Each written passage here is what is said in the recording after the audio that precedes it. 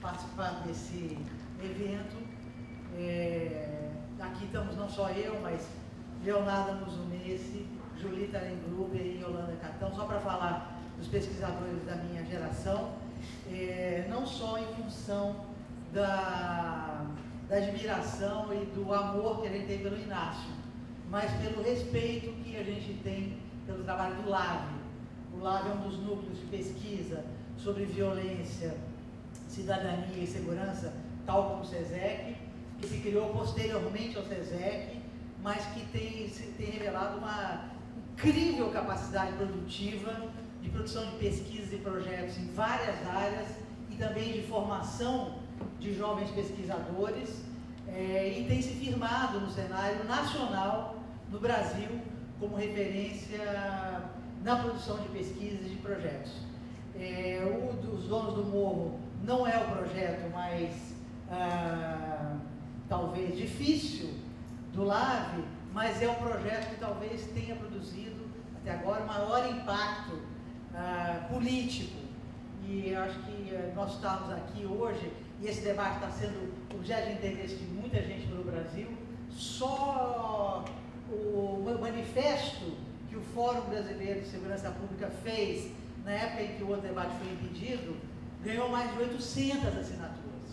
800 assinaturas só do meio acadêmico brasileiro, entre pesquisadores da USP, de universidades do Brasil inteiro, etc. E só praticamente do meio universitário. Né? Então, é, eu acho que isso tudo ah, dá um pouco da indicação dessa importância que o LAB tem João, Dorian, é, vários outros que estão aqui, o Pablo, que é pesquisador, a Thaís, quem que eu estou esquecendo?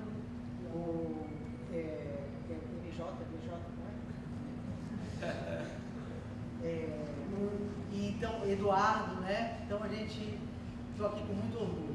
Queria que eu pensei em faz, falar agora, inicialmente, para iniciar o debate, tem gente que está aqui que eu quero ouvir, o Alan Bruno do Raiz em Movimento, talvez tenha outras pessoas que vivem nas favelas, além do Rumba, que vivem nas favelas, que tem o bebê, né? Então, eu queria fazer um comentário geral sobre violência e polícia no Rio de Janeiro, depois fazer três brevíssimos, eu elegi três pontos para definir o que me parece que mais é mais problemático em termos de desafio para o futuro das UPPs.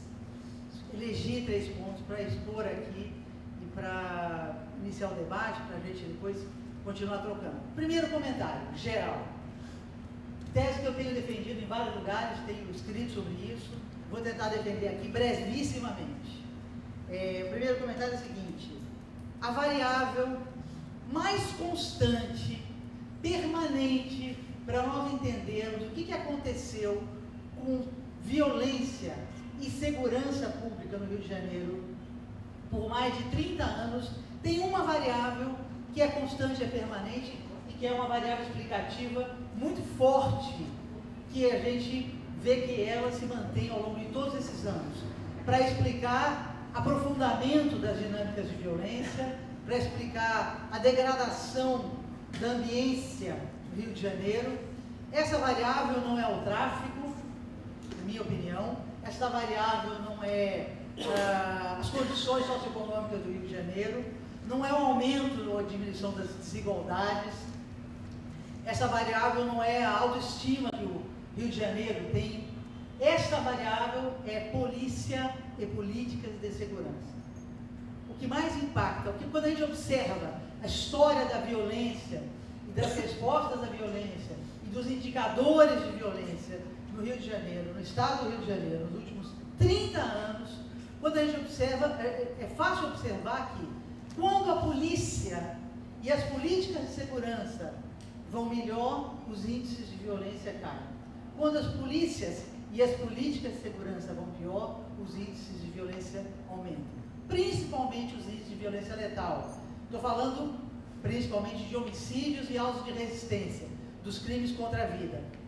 Todo mundo sabe que homicídio e auto de resistência não são os únicos crimes, mas são não só os crimes mais importantes que mais impactam a sociedade, como também são a ponta de um iceberg. Porque ali onde tem muito homicídio, tem muita ameaça, tem muita lesão corporal, tem muitas outras violências que ficam submersas. E ali onde tem muito homicídio por arma de fogo, também tem muito crime contra o patrimônio. Tem muita gente andando armada e ameaçando outras pessoas, etc. Então, o homicídio realmente não é o único indicador ser avaliado, mas é o mais importante para a gente medir condições de sociabilidade numa cidade, num estado, numa região do país e do, do, do Brasil, né, do país e do mundo, né? O que, que aconteceu em, nos anos, no governo Marcelo Alencar, nos anos 90? O que aconteceu?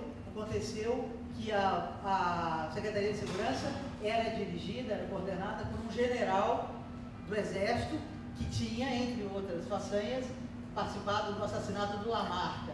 Esse general foi junto com seu, a sua entourage para dentro da Secretaria de Segurança, era o governo Marcelo Alencar, e criou o que, que a gente chamou gratificação faroeste. Ou seja, todo mundo sabe o que é gratificação faroeste aqui, não sabe?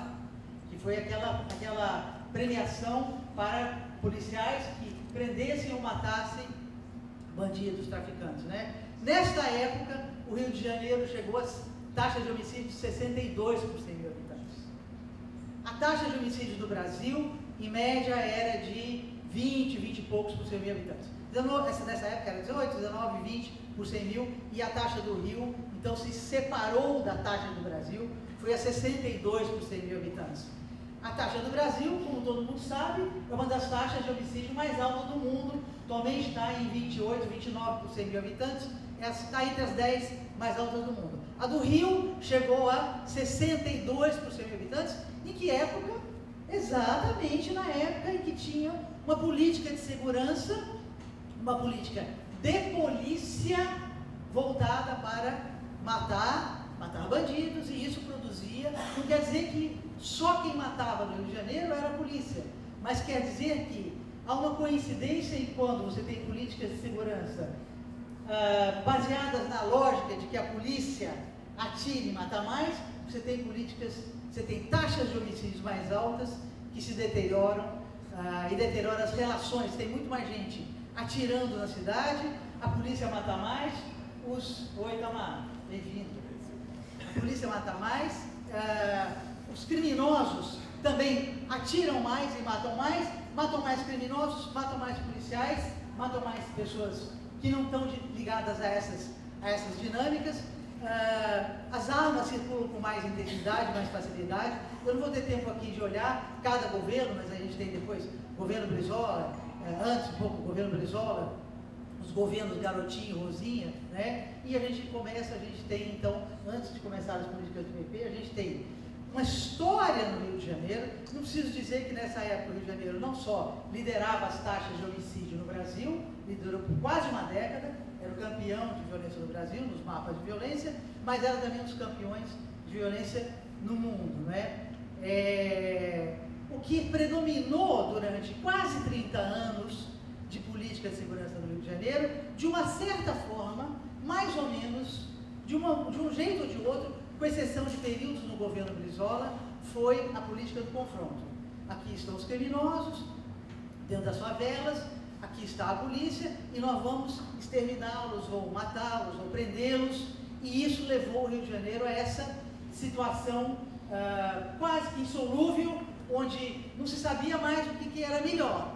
Era deixar criminosos tomando, tomando conta de territórios urbanos dentro da cidade do Rio de Janeiro, deixar eles ali, ou era melhor entrar e se confrontar, e quando tinha confronto, morria gente de todos os lados, etc. O que, que era melhor? Então, criou-se esse dilema até que se iniciou a política dos UPPs que contrariou tudo o que foi feito ao longo dessas décadas, ou pelo menos que, cujo objetivo era contrariar, cujo objetivo era, era uh, produzir uma política diferente da que tinha sido da que tinha do que vinha ocorrendo, que era o quê? Confrontar criminosos armados na base das armas.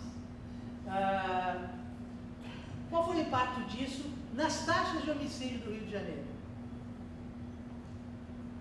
Se é, foram de 2009 até 2014, menos 8.833 mortes no estado do Rio de Janeiro do que teria havido se se mantivesse nos índices de 2008, um ano antes das UPPs. Se a gente soma o número de homicídios de 2008 e o número de autos de resistência de 2008, projeta isso para os seis anos seguintes, comparado com o que diz, o número de homicídios e de autos de resistência que de fato ocorreu, foram 8.833 mortes a menos. É, isso tem uma importância extraordinária, mas tudo indica, passados esses seis anos de UPP, é que isso não se sustenta sozinho. A UPP trouxe uma redução dos homicídios em áreas onde tinha muitos homicídios, onde nós estávamos naqueles patamares acima do, do de, de, de, de taxas espetaculares em termos mundiais, reduziu muito, mas trouxe vários outros problemas. Onde a UPP entrou, problemas novos começaram a existir, problemas que não haviam antes. Poderia citar inúmeros, eu não vou ter tempo, eu vou citar só um problema, que é, por exemplo, os jovens das favelas, antigamente eles eram revistados quando iam para a Zona Sul. Quando saíram, saíram das favelas, das suas comunidades, iam para os territórios que não eram seus territórios. Agora, com as UBPs, os jovens das favelas passaram a ser revistados quando entram nas suas favelas, na Zona Sul. E além de continuarem sendo revistados na Zona Sul. Então, esse é só um problema, é, um dilema complexíssimo, complicadíssimo, que, por exemplo, não é que, não é que o PP não resolveu, que o PP criou. Então, eu vou, uh, vou agora me ater a, mencionar três aspectos uh, do que me parece uh, em relação a esse conjunto de questões, que eu acho que a gente pode debater mais e discutir mais, três aspectos que me parecem cruciais, essenciais para a continuidade das UPPs. E por que eu acho que é importante a continuidade das UPPs? Não é porque as UPPs devem ser absolvidas e condenadas, é porque as UPPs são uma política que muda a polícia.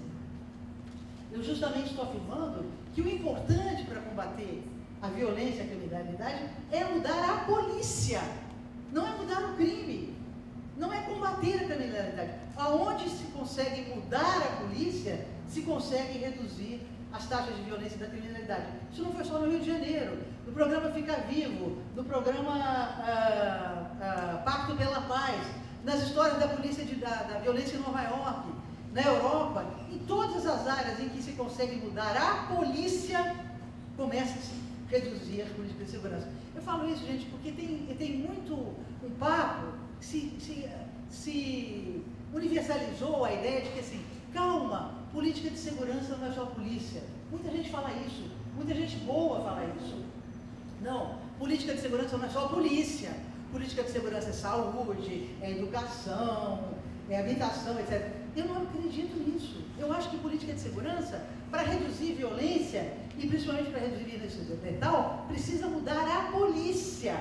Quando se muda a polícia, se tira os fuzis e as armas de fogo circulando das áreas da cidade, a violência cai e a gente tem esse efeito. Então, eu acho que é importante, as PBs são importantes porque elas são uma política de mudança da polícia. Saiu-se do modelo confronto, vamos combater traficantes e criminosos a qualquer custo, para um modelo que nem sempre é cumprido, mas que é o modelo das PPs, que é vamos proteger a vida a qualquer custo.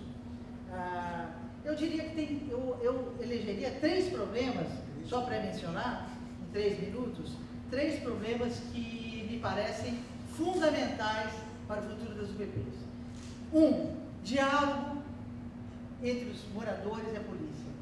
Que é impressionante, porque em nenhum lugar nenhuma das UPPs, nem das experiências de favelas em que se reduziu a criminalidade, não há muita atenção, se tirou os, os armamentos dos territórios, etc. Mesmo ali não há experiências de diálogos, de diálogo permanente entre polícia e comunidade. Não foi criada nenhuma experiência, nenhum modelo. Ah, cadê a Monique? Estava ali.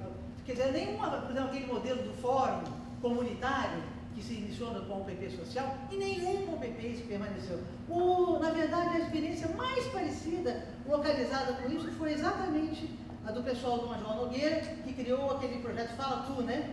Com jovens. Centros policiais, uma roda com jovens e os policiais sem arma, e fala, fala tu, e os policiais e os jovens, então, começam a falar verdades uns para os outros. É, foi assim, a única experiência localizada. Não fora isso, nas 40 UPPs, nas 38 UPPs, isso é incrível, gente. A gente vive, as UPPs são, são uma experiência que envolve 9 mil policiais. É um modelo de desarmamento e de experiência de polícia, aspas, de proximidade, dizer, que se propõe a ser de proximidade, um dos maiores do mundo, em meio urbano. Tem poucas experiências, estão concentradas. E a gente não tem nenhuma experiência de diálogo. Eu acho assim, sem se prestar atenção nisso, sem que as próprias comunidades e a própria polícia entendam que sem isso não vai ser possível, eu acho que uh, é um ponto que eu acho que chamaria atenção. Segundo ponto, só para mencionar, os policiais militares estão nas favelas só com seus fuzis e fazendo ronda. Cadê a Polícia Civil e a Polícia Federal? Então o que acontece? Quando volta as armas a circularem, quando voltam as, as, as bocas de fumo a funcionarem com muita intensidade, o policial tem um dilema. Ou ele atira, que é o que está acontecendo no complexo do Alemão, em vários lugares, ou ele atira ali no, nos, nos grupos armados que estão ali dentro, ou ele não atira. Se ele não atira, ele é conivente.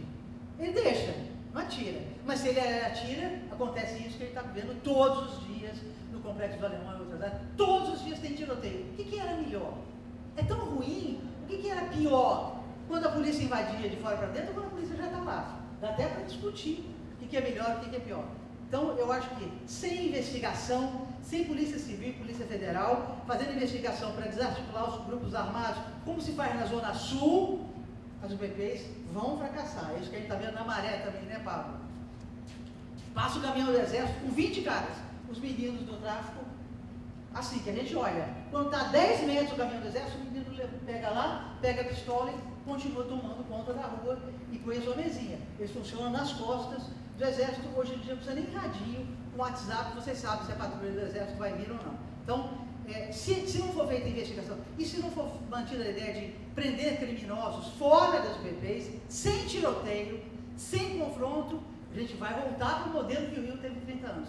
E o último comentário, o último ponto, que me parece crucial, o Rio de Janeiro é o único país do mundo, é a única cidade, é o único local do mundo que tem uma experiência de desarmamento em grande escala, porque a experiência das UPPs, embora chame de pacificação, na verdade é uma experiência de desarmamento, é de retirada das armas do território, e não tem nenhum programa, nenhum projeto para os jovens que anteriormente estavam envolvidos com os grupos armados. Então, muito bem, você tem 700 territórios, são 700 favelas, que estão uh, tomados, estão dominados por grupos armados. Esses grupos armados são constituídos por jovens que participam desses grupos armados. Uh, a ideia não é nem matá-los, nem prendê-los em primeira instância. A ideia da UPP é entrar, tirar as armas, não é? E fazer com que esses jovens, jovens alguns vão sair, os mais profissionalizados, né? os outros o que, que vão fazer? Vão ficar, sem a fuzil na mão. O que, que nós vamos fazer com eles? Nada. Quando a gente conta isso no exterior, que a gente tem 9 mil policiais, 1 milhão de pessoas, é, 260 favelas sendo beneficiadas por um programa de policiamento que, cuja principal ideia é de desarmamento, não dá para as pessoas não acreditam, aí dizer assim, ah é, que ótimo, e o que, que vocês estão fazendo lá pra, com esses jovens que estavam antes envolvidos com o tráfico? Aí fala assim, nada, não tem nenhum projeto piloto, não tem nenhuma experiência. Né? Então, como tem na Colômbia, em vários outros lugares, não são experiências simples, não são fáceis. Eu e o Pablo estamos acompanhando uma experiência na Maré, liderada pelo Luta pela Paz. É um, uma experiência complexa, mas não dá para acreditar que a única coisa que tem no Rio de Janeiro, voltada para este público, desta experiência de desarmamento, é uma, uma ONG uh, ah, que está fazendo a experiência de, uh, digamos, ajudar a manutenção da vida fora dos grupos armados, depois da entrada da polícia, para 40 jovens. Eu acho que se a gente não enfrentar esses três aspectos, é, o futuro das UPPs vai estar seriamente ameaçado. Obrigado.